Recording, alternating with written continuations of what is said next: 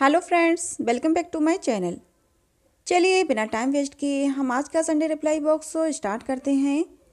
हमारा जो first comment है, ये है, जेनिफा जी की तरफ़ से इनका कहना है, इकतीस दिन प्रेग्नेंट हो चुका है, अभी तक बच्चा नहीं हुआ है। तो मादा खरगोश का बच्चे देने का जो टाइम पीरियड होता है, वो अट्ठाईस से बत्तीस दिन का होता है। तो अभी आप एक दिन और वेट करें। बत्तीस दिन के होते होते मादा खरगोश बच्चे दे देगी। चलिए बढ़ते हैं अगले कमेंट की तरफ़। ये क्या है? फरहाना नाज ने इनका कहना है नाइस इन्फॉर्मेशन मैम घर में हमारे चार छोटे छोटे रेबिट्स हैं। लोग बोल रहे हैं रेबिट्स रखने से घर में प्रॉब्लम्स आते हैं। क्या ये सही है? तो ये बिल्कुल भी सही नहीं है। खरगोश बहुत ही प्यारे से बहुत ही क्यूट जानवर होते हैं। बल्कि खरगोश घर में रखने से कोई नुकसान नहीं, बल्कि फ़ायदे ही होते हैं। खरगोश पालने के क्या क्या फ़ायदे होते हैं, इस टॉपिक पर मैं एक सेपरेट वीडियो भी बना चुकी हूँ। आप वो वीडियो देख सकते हैं। हाँ खरगोश पालने से आपको कुछ छोटी मोटी दिक्कतों का सामना करना पड़ सकता है। जैसे खरगोश घर का सामान चबा सकते हैं। खरगोश की साफ़ सफ़ाई को लेकर आपको प्रॉब्लम आ सकती है।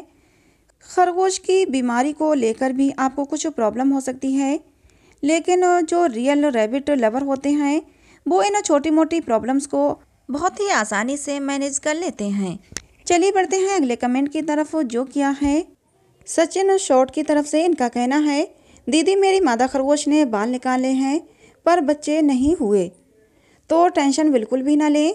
मादा खरगोश अट्ठाईस से बत्तीस दिन में बच्चे दे देती है, लेकिन वो नेस्टिंग करना आठ दस दिन पहले ही शुरू कर देती है।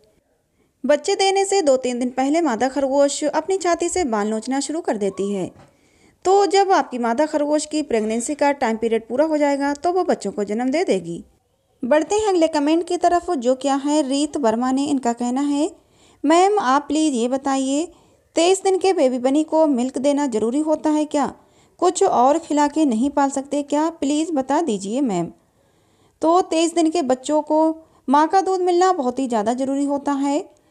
कम से कम पैंतालीस दिन तक और ज़्यादा से ज़्यादा साठ दिन तक बच्चों को माँ का दूध मिलना बहुत ही ज़्यादा ज़रूरी होता है। अगर पैंतालीस दिन से कम बच्चों को माँ का दूध मिलता है तो ऐसे में बच्चे बहुत ज़्यादा कमज़ोर रहते हैं, उनकी ग्रोथ अच्छी नहीं होती है, बहुत जल्दी बीमारी की पकड़ में आ जाते हैं। तो साफ़ सीधे शब्दों में कहें तो बच्चों को माँ का दूध मिलना बहुत ही ज़रूरी है इस एज में। वैसे आप तेईस दिन के बच्चों को घास देना लिटिल अमाउंट में फल सब्ज़ी देना स्टार्ट कर सकते हैं। बट अभी पैलेट्स ना खिलाएँ। पानी देना भी आप स्टार्ट कर सकते हैं। बढ़ते हैं अगले कमेंट की तरफ़। ये क्या है? दिया मित्तल ने इनका कहना है, इन्हें रोटी खिला सकते हैं क्या?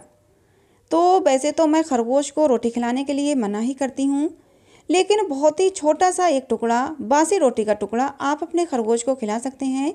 इसमें कोई नुकसान नहीं है बट ध्यान रखें बहुत ज़्यादा रोटी खरगोश को बिल्कुल भी ना खिलाएँ। इससे खरगोश में लूज मोशन होने की समस्या हो सकती है। बढ़ते हैं अगले कमेंट की तरफ़, जो है, सुमिता रॉय की तरफ़ से इनका कहना है, दी मेरा बनी नट्स खाना पसंद करता है, क्या रैबिट को नट खिला सकते हैं? तो नट में तो जैसे मूंगफली, अखरोट, बादाम, काजू, ये सारे ड्राई फ्रूट आ जाते हैं। तो ये इस तरीके का फ़ूड अपने खरगोश को बिल्कुल भी ना खिलाएँ। ये फ़ूड खरगोश के लिए बिल्कुल भी सेफ़ नहीं होता है। हाँ मूंगफली के छिलके आप अपने खरगोश को खिला सकते हैं, इसमें कोई नुकसान नहीं है। चलिए बढ़ते हैं अगले कमेंट की तरफ़, जो किया है गुजरात का माफिया भाई। इनका कहना है, दीदी प्रेग्नेंट खरगोश कितने दिन में घोंसला बनाता है बच्चे देने के लिए? तो मादा खरगोश आठ दस दिन पहले से ही नेस्टिंग करना शुरू कर देती है, लेकिन कोई कोई मादा खरगोश जिस दिन बच्चों को जन्म देती हैं, उससे एक दिन पहले ही नेस्टिंग करती हैं। लेकिन कुछ मादा खरगोश ठीक उसी दिन भी नेस्टिंग करती हैं, जिस दिन बच्चों को जन्म देती हैं।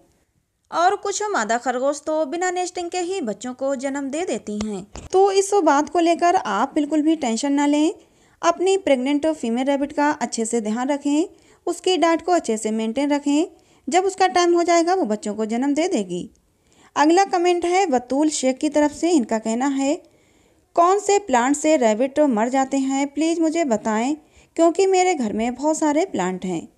तो खरगोश के लिए जो डेंजरस इंडोर प्लांट्स हैं, वो है tulip nightshade daffodil ivy dumb cane lily snake plant lucky bamboo rubber plant J J plant arrowhead plant and caladium. और एलोवेरा। ये सारे प्लांट जो मैंने आपको स्क्रीन पर दिखाया ये सारे खरगोश के लिए डेंजरस प्लांट्स होते हैं।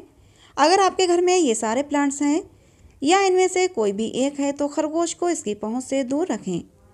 बढ़ते हैं अगले कमेंट की तरफ़। ये क्या है? नीलू रावत ने इनका कहना है क्या एक रैबिट बेबी दे सकता है? तो ये मुमकिन नहीं है। एक खरगोश कभी भी बच्चे नहीं दे सकता। खरगोश से बच्चे लेने के लिए आपको मेल फीमेल रैबिट की ज़रूरत पड़ेगी। चलिए बढ़ते हैं अगले कमेंट की तरफ़, जो क्या है? वंश क्रिएशन ने इनका कहना है, हमारा नर खरगोश मर गया है, पर हमें मादा खरगोश से बच्चे चाहिए तो क्या करें? तो वैसे तो नर खरगोश के बिना मादा खरगोश बच्चे नहीं दे सकती, लेकिन एक तरीका है, अगर आप अपनी मादा खरगोश से बच्चे लेना चाहते हैं तो आप एक काम करें आप अपने आसपास किसी भी पेट शॉप पर चले जाएँ। वहाँ कोई नर खरगोश ज़रूर होगा। पेट शॉप के ऑनर से बात करके अपनी मादा खरगोश को कुछ देर के लिए नर खरगोश के केज में छोड़ दें। इससे क्या होगा कि दोनों की मीटिंग हो जाएगी। फिर आप अपनी मादा खरगोश को घर ले आएँ। अगर मीटिंग सफल रही तो मादा खरगोश प्रेग्नेंट हो जाएगी और फिर वो बच्चे दे देगी। चलिए बढ़ते हैं अगले कमेंट की तरफ़, जो किया है। खुशी कोयरी ने इनका कहना है, दीदी मेरे पास दो फीमेल्स रैबिट हैं, पर मेरा एक रैबिट दो दिन से कपड़े खींच रहा है और अलमारी के नीचे ले जा रहा है। ऐसा क्यों? तो ये जो है, ये फीमेल्स रैबिट की फॉल्स प्रेगनेंसी है। इसमें मादा खरगोश को लगता है कि वो प्रेग्नेंट है, बट ऐसा नहीं होता है। ऐसा फीमेल रैबिट में हार्मोन्स रीच होने पर होता है। जब मादा खरगोश को फॉल्स प्रेगनेंसी होती है तो वो सेम वही हरकतें करती है जो एक प्रेग्नेंट फीमेल रैबिट करती है। फॉल्स प्रेगनेंसी क्या है? इस टॉपिक पर मैं एक सेपरेट वीडियो बना चुकी हूँ। आप वो वीडियो देख सकते हैं। आपके सारे सवालों के जवाब मिल जाएँगे। चलिए बढ़ते हैं अगले कमेंट की तरफ़। जो है डी रिड्ज की तरफ़ से इनका कहना है, आपको एक डॉक्टर की परमिशन लेके अपने रैबिट को पानी पिलाना चाहिए। तो ऐसा कुछ भी नहीं है। इंसान हो या जानवर, उसे पानी पीने के लिए किसी की परमिशन की ज़रूरत नहीं होती है। पानी की नीड हर जानदार चीज़ को होती है। खरगोश को पानी आप बिना किसी परमिशन के पिला सकते हैं, क्योंकि खरगोश भी पानी पीते हैं। अगर आपका खरगोश पानी नहीं पीता है तो आप खरगोश को पानी पिलाने के क्या क्या तरीके हैं, उन्हें फॉलो करें। आपको यूट्यूब पर गूगल पर बहुत सारे वीडियो बहुत सारी जानकारी मिल जाएगी। आप ये जानकारी यूट्यूब या गूगल से ले सकते हैं। तो फ्रेंड्स आज के संडे रिप्लाई बॉक्स में बस इतना ही। मिलते हैं अगले संडे रिप्लाई बॉक्स में।